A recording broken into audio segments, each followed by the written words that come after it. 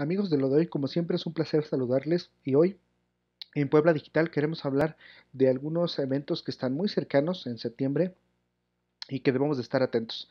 El primero es que el día de mañana, 15 de septiembre, a las 12 del día, tiempo Ciudad de México, pues Apple lanza su evento en donde darán a conocer algunas novedades y algunos productos, ¿no? Que estarán que estarán disponibles. Entonces es, es muy importante para la marca este tipo de eventos, pero no solo Apple. Hay varias empresas que están aprovechando este momento para hacer lanzamientos, eh, pues por supuesto virtuales y que sin duda tienen un efecto importante en el uso, transformación y consumo de productos digitales. También está Sony anunciando para el día 17 su nuevo celular Xperia eh, que sin dudas tienen expectativas sobre, sobre este.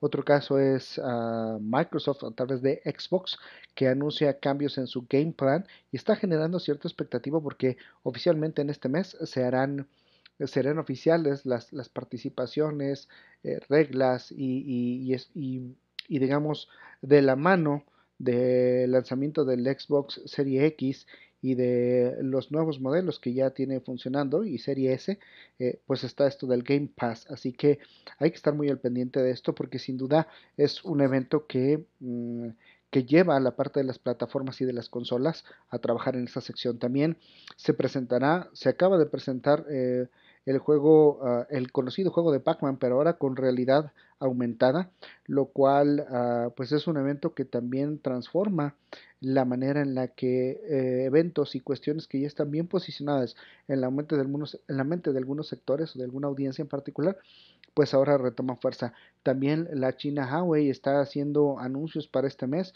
sobre sus productos y servicios e inclusive está mostrando cómo va a combatir esta o a solucionar, mejor dicho, esta problemática que tiene eh, con Google respecto a al ofrecer soporte y estas herramientas de interacción a través de sus dispositivos. Ahora, ahí el comentario es, parece que el sistema operativo que utilizarán los nuevos dispositivos de Huawei eh, compite y no necesita para nada Google, ya lo veremos.